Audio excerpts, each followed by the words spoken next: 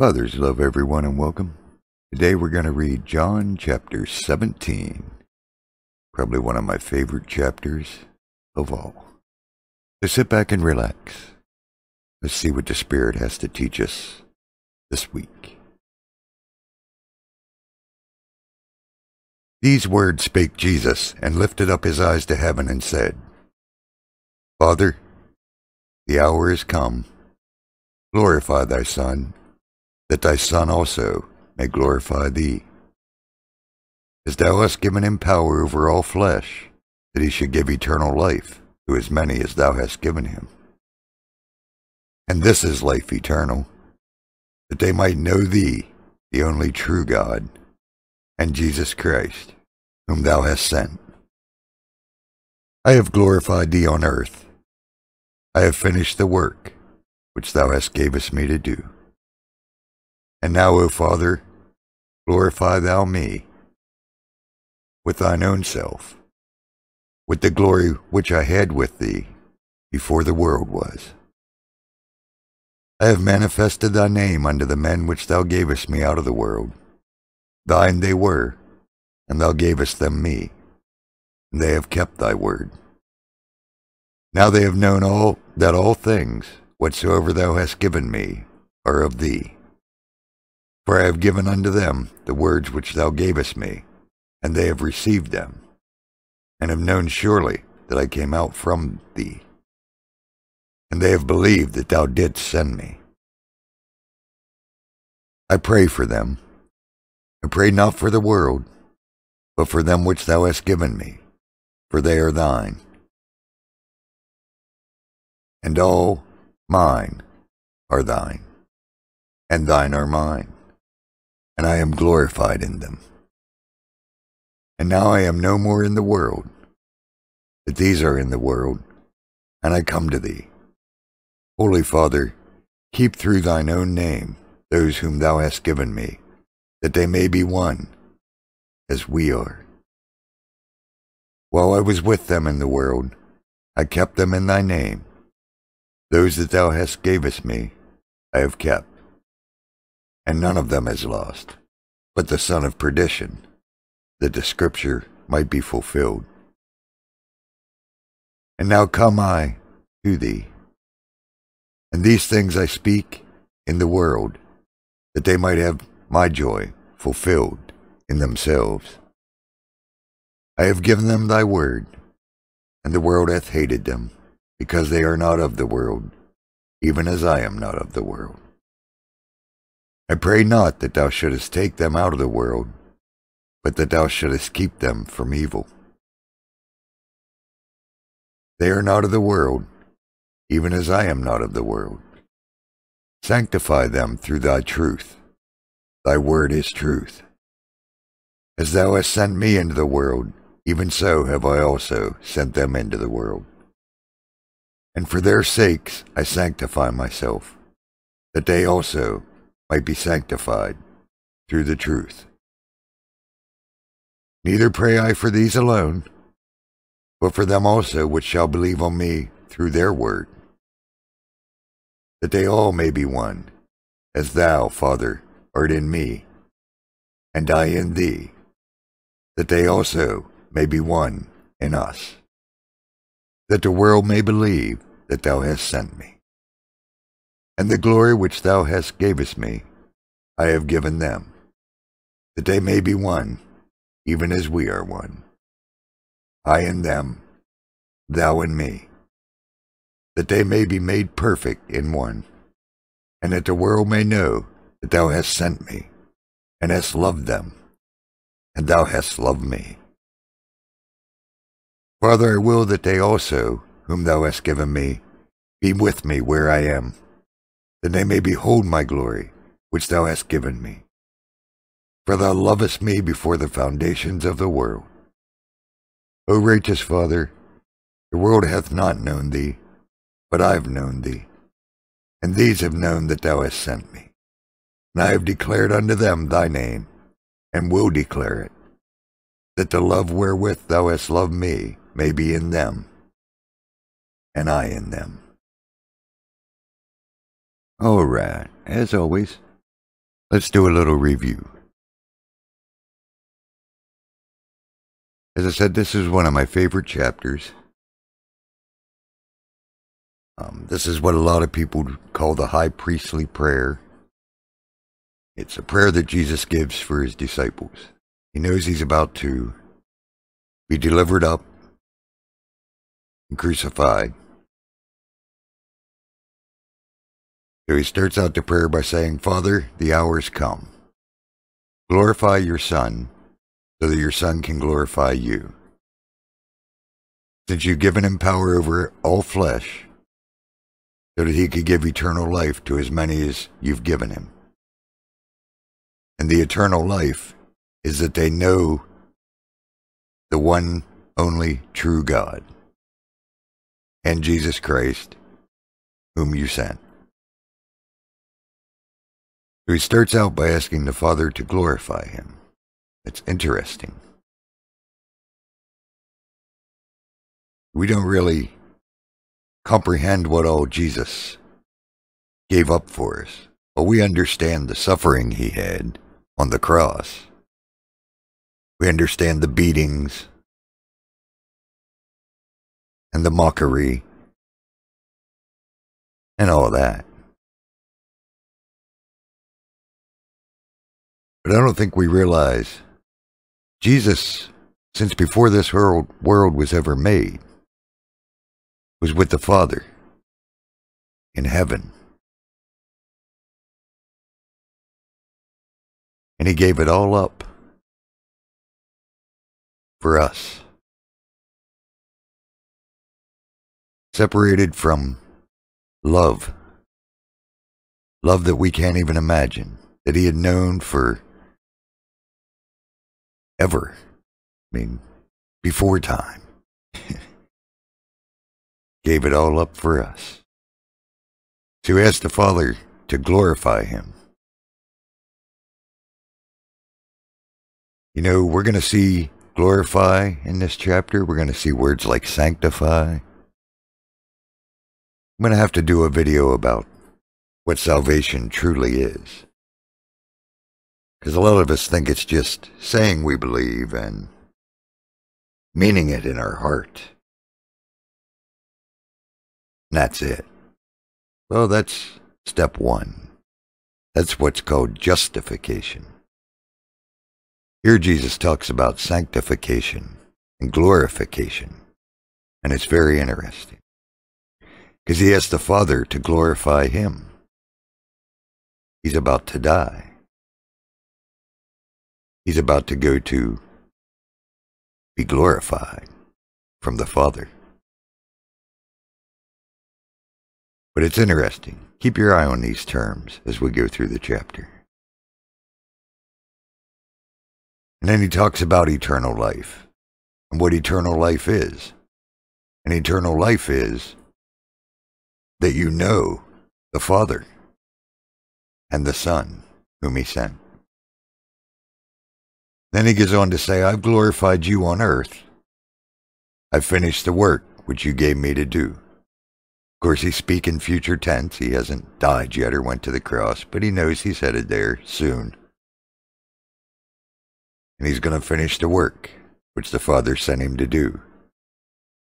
What was the work Father sent him to do? Not die for our sins like we're taught. He did that.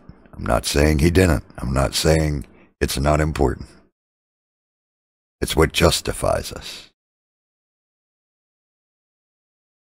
But the work the Father gave him to do, as we learn from this chapter, is to make sure they know the Father.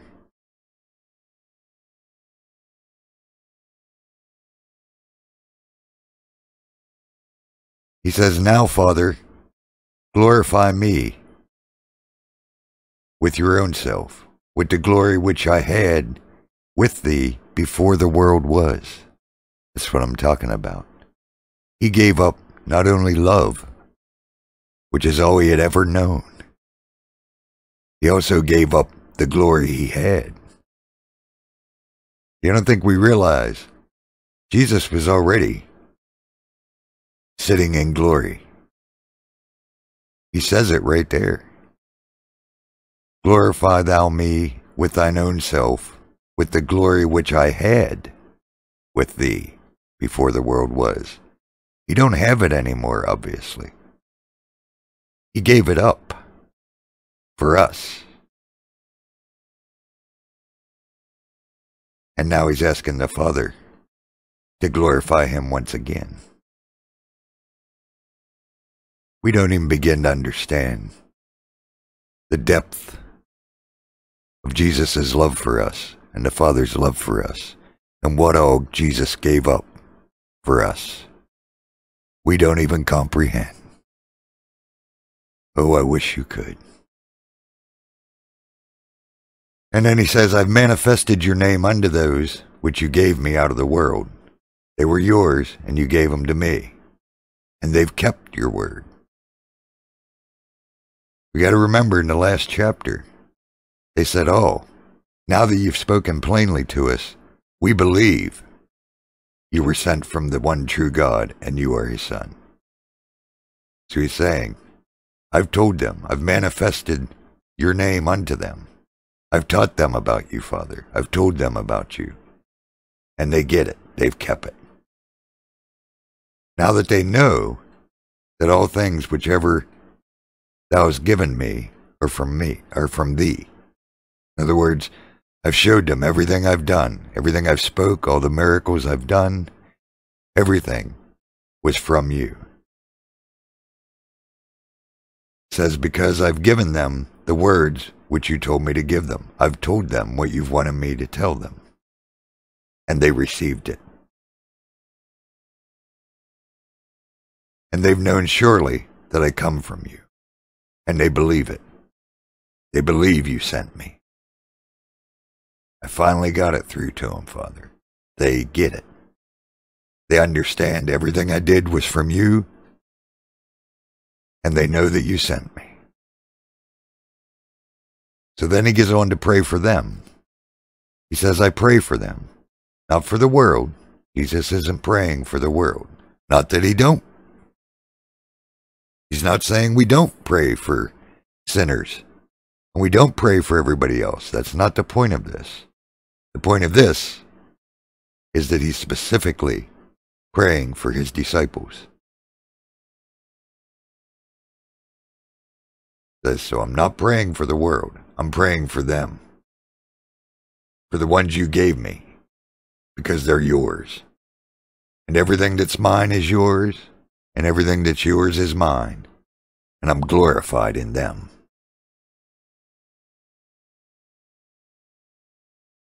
He says, Now I am no more in the world. Of course, he still is. But like I said, he knows what's about to come.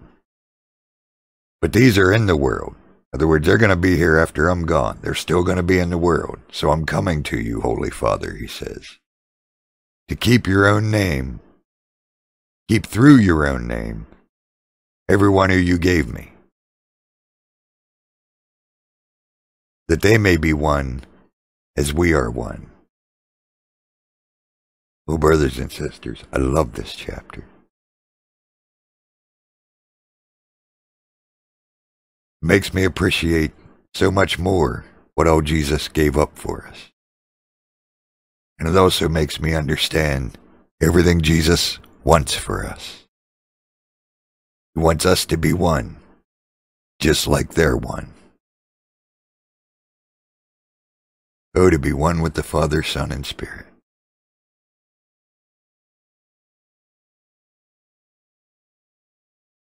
He says, While I was with them in the world, I kept them in your name. Every one of you gave me, I kept. None of them got lost, except for the son of perdition, so that the scripture might be fulfilled.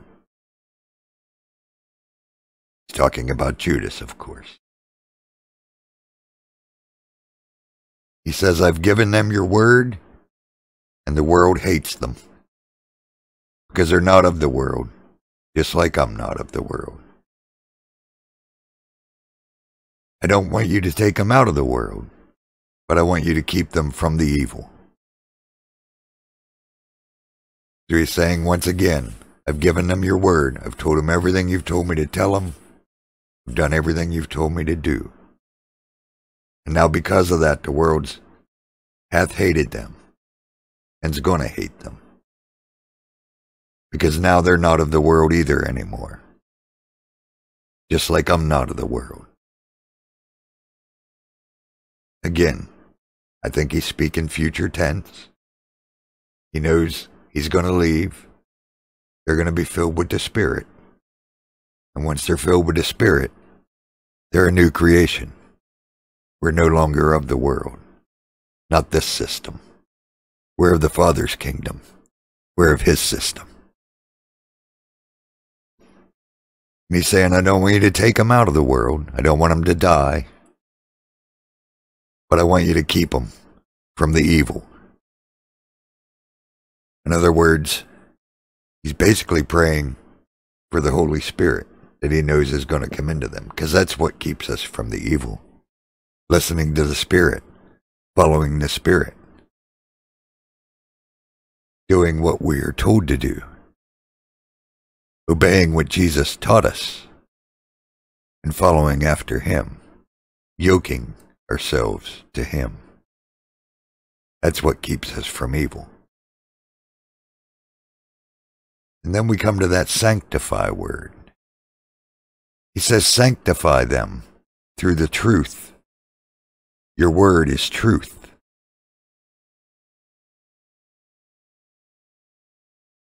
Said, as you sent me into the world, even so I'm sending them into the world. And for their sakes, I sanctify myself, that they also might be sanctified through the truth. So he's asking that they be sanctified. No one talks about sanctification, step two of salvation. They just like to leave you justified and stumbling along. No, we get sanctified. And how do we get sanctified? Through the truth of the Father's Word, through the truth of what Jesus shared with us, because that was the Father's Word. And he says, I sanctify myself, that they also may be sanctified. Interesting. He asks the Father to glorify him, but he says he'll sanctify himself. How are we sanctified? Once again, through the truth of the Father's Word and through the Spirit guiding us. Jesus said the Spirit will come, the Comforter, the Spirit of truth, to lead us into all truth, in remembrance of everything he said and taught and did. That's a lifelong process. That's the rest of our walk, sanctification. We must be sanctified. That's what cleans us up. Not necessarily the outside right away, but the inside. We must be sanctified. Jesus prays for us to be sanctified. Must be important. And like I said, all this time he's praying for the disciples. But, and this is what I love, he says, I'm not just praying for my disciples alone, but for everyone else that's going to believe on me through their word. That's us, brothers and sisters. True, born again children of the Most High God, who believe on Jesus Christ through what we learn in this Gospels of Matthew, Mark, Luke, John, Acts, Romans, on and on. First and Second Corinthians, Galatians, Ephesians, Philippians. You know what I mean. Their word. That's why we believe. We didn't walk with him. We didn't get to hear him like they did. But if we believe what they taught us, and what the Spirit teaches us. This prayer is for us too. The prayer that they all may be one. He says, just like you're in me, Father, and I'm in you. You know that Trinity thing people talk about? The Father, Son, and Holy Spirit, three yet one. Oh, there's way more than three when this is all done.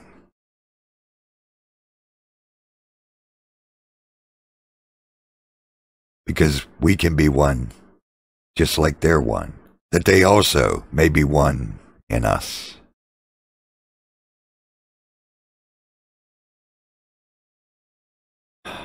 How much more beautiful could it be?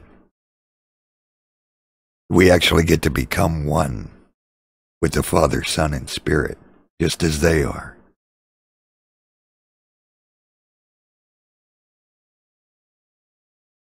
And the glory which you've given me,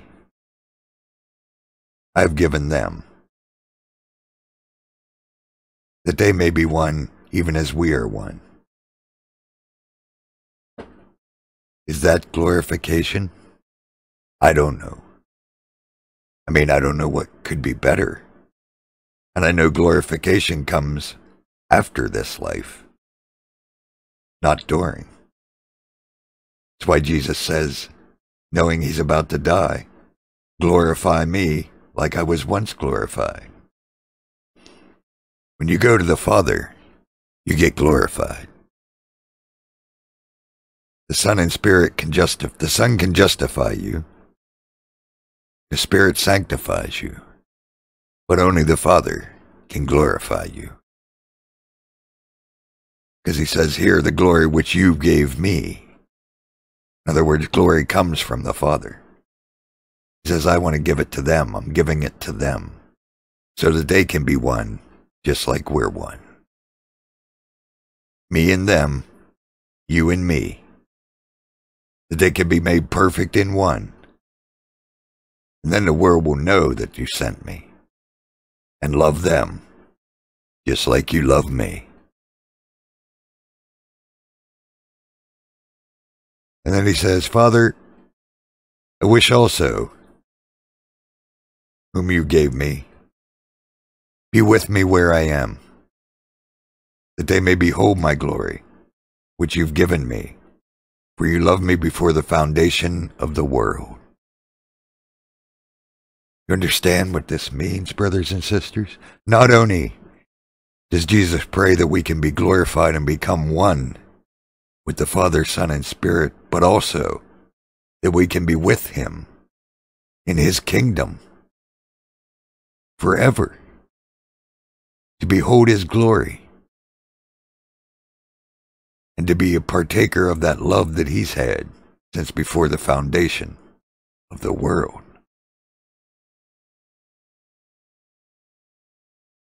O righteous Father, he says, the world hasn't known you, but I know you, and now they know you, and they know that you sent me. I've told them your name, told them about your kingdom, I've told them all about you. I've showed you to them, and I declare it that the love with which you love me could be in them, and I in them.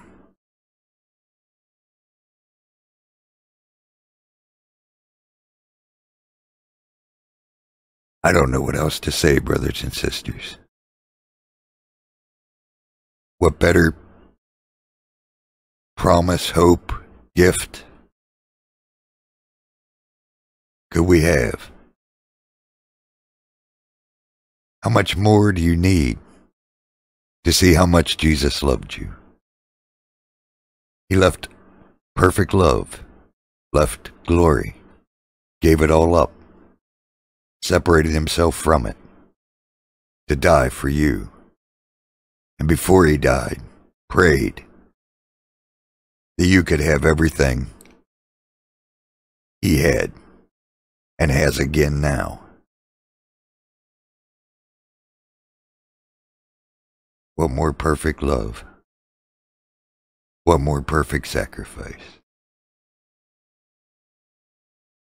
What more perfect king?